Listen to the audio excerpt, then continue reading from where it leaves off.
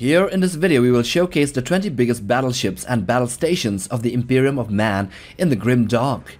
There will be other videos on the Grand Cruisers, battle cruisers and also frigates as well as destroyers and transports. So let's get to this video on the battleships and battle stations.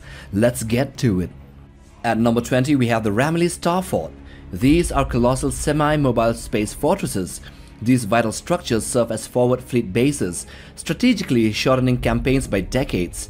Divided into four quadrants, their design, each with their own void shield emitters and unlimited torpedo arsenal, the Ramilies Starfort combines immense size, defensive capabilities and warp travel, providing the Imperium with a formidable advantage in their forward battle lines.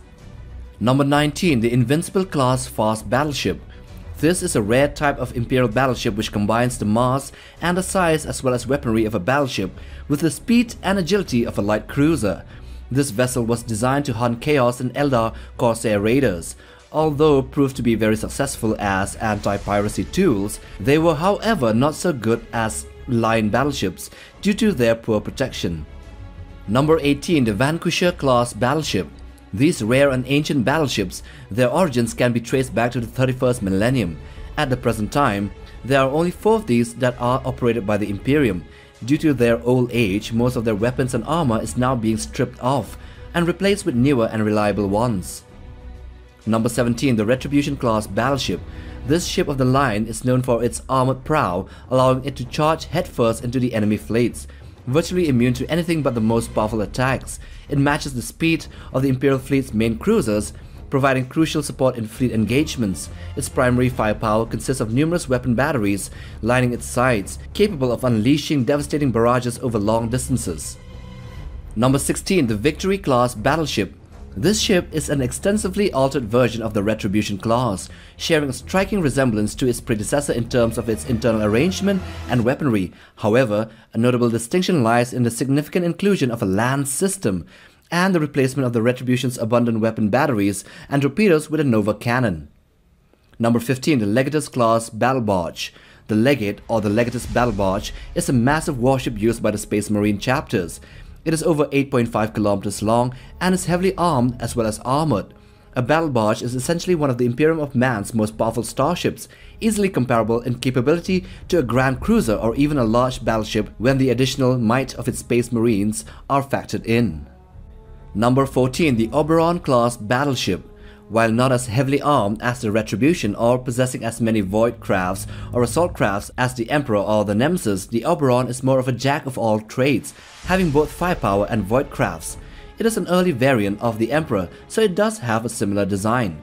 It has a versatile array of weaponry that enables it to effectively handle various threats, eliminating the need for a typical complement of escorts to provide protection. Number 13. The Apocalypse class battleship. As a warship, Armed primarily with Lances, this holds a unique place within the Navy. It stands among the few battleships equipped with a Nova cannon. The construction technology employed to create numerous lance turrets aboard these vessels has been lost to time, leading to a gradual decline in their numbers. These ancient starships approach the upper limit of the ship size seen during the pre-Horus Heresy era, measuring about 10 to 12 kilometers in length. Number 12. The Emperor-class battleship this is the main battleship type of the Imperium alongside the Retribution class. They are also one of the oldest designs which are still in use as of the 41st and 42nd millennium. Although it is outfitted with deadly weapons all around its body that can destroy cities, the Emperor's main attack mode is to act like an aircraft carrier, dispensing several attack crafts and also those sharp assault boats against far-off targets. It is also known to ram enemy ships in certain occasions. The Nemesis class fleet carrier these are essentially modified Emperor-class battleships redesigned to send out more void crafts against enemies, but for this, it has to sacrifice its firepower which means it has to rely on ship escorts to provide it with protection. Therefore, it is only seen in large fleets, which can provide it with cover fire as it sends out fighters and assault crafts against far-off targets. Number 10. The Ark Mechanicus Starship Stated to be as wide as a Dominator-class cruiser which is around 5 kilometers long, this therefore puts the length of the Ark Mechanicus at between 15 to 20 kilometers long. This type of vessel is equipped with a Nova cannon, 4 lance batteries and more. The extreme mass of these vessels create a distorted gravity field equivalent of that of an unstable moon. Their hulls possess entire self-sustaining manufacturing ecosystems, factories and all. Number 9. The Gloriana class battleship. This is a colossal type of battleship commissioned during the peak of the Great Crusade. It is believed that the ancient Imperium planned to construct a minimum of 20 of these impressive battleships, with each ship being distinct in design and weaponry. In the era of the Great Crusade, every Space Marine Legion obtained at least one of these vessels, which ultimately became the flagship of the Legion, commanded by their respective Primarch. Number 8. The Raptorus Rex this is a massive star fortress utilized by the Firehawk Space Marine chapter before its disappearance into the warp, acting out as their primary mobile stronghold and base of operations. This colossal war machine possesses immense destructive capabilities, able to swiftly devastate the surface of a planet and also engage an entire squadron of cruisers at the same time. Number 7. The Macragge's Honor and also the Invincible Reason.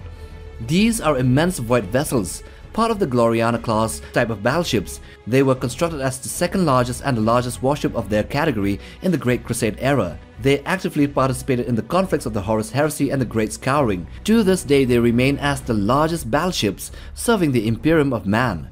With a length of 26 kilometers, the Macragge's Honor is the second largest among the Gloriana battleships, second only to the Invincible Reason, which is 28 kilometers. Number 6. The Bucephalus Flagship this functioned as the Emperor's majestic golden esteem personal flagship during the Great Crusade. The Bucephalus, an immense masterpiece of martial craftsmanship, possessed such colossal dimensions that it generated its own gravitational force. Within its vast confines, a garrison of custodians are stationed, ready to fulfill their duties. Number 5. The Rock, the Tower of Angels, Angelicasta. This is the mobile space fortress and the home base of the Dark Angels. It is essentially the only remaining chunk of their homeworld of Caliban. It was outfitted with the most advanced Imperial technology, including a massive warp drive, gravity generators, and void shields as well as all sorts of weapons that the Dark Angels possess, many of which are classified technology from humanity's past. It is bigger than most ships of the Imperium. Number 4. The Imperator Somnium this ship stands apart as a unique colossal spacecraft crafted from golden materials, some surpassing even the size and armament of battleships. This extraordinary marvel of technology was constructed utilizing the enigmatic knowledge acquired during Terra's dark age of technology. Equipped with formidable weaponry such as Volkite storm accelerators, Nova cannons and Rad fusion warheads, this vessel was one of a kind, boasted advanced automation for various operational tasks, and was one of the flagships of the Emperor. Number 3. The Galatan Starfort. This massive star fort tasked with safeguarding the trade routes within the realm of Ultramar stands as one of the most prominent fortifications of the Ultramarines. Stretching across 100 kilometers, Galatan boasts shipyards that even rival that of Luna in scale. Its armament is rumored to match that of an entire sector battle fleet, while its defense garrison includes tens of thousands of Ultramar auxiliary troops and hundreds of space marines. Number 2. The Phalanx one of the largest starships ever constructed by humanity, no doubtly one of the largest and maybe even the biggest. This is a colossal entity not witnessed since the age of technology.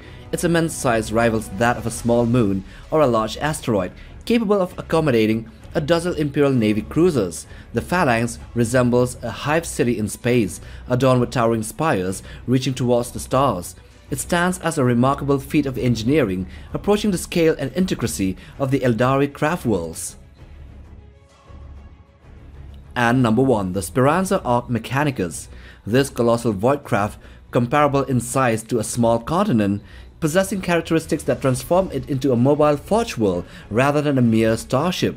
Within its vast expanse resides an ancient machine spirit of remarkable advancement, surpassing its counterparts of other Ark Mechanicus. Originating from a time preceding the era of the Men of Iron, it was crafted by the enigmatic Men of Gold.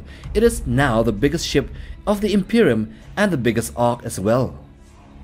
So those are the 20 biggest Imperial battleships and battle stations. Anyway, I hope you have enjoyed watching this video. Do hit that like button for support and subscribe to push us through the YouTube algorithm. But most of all, smash that bell icon for regular updates on new videos right here on this channel. Take care, boys.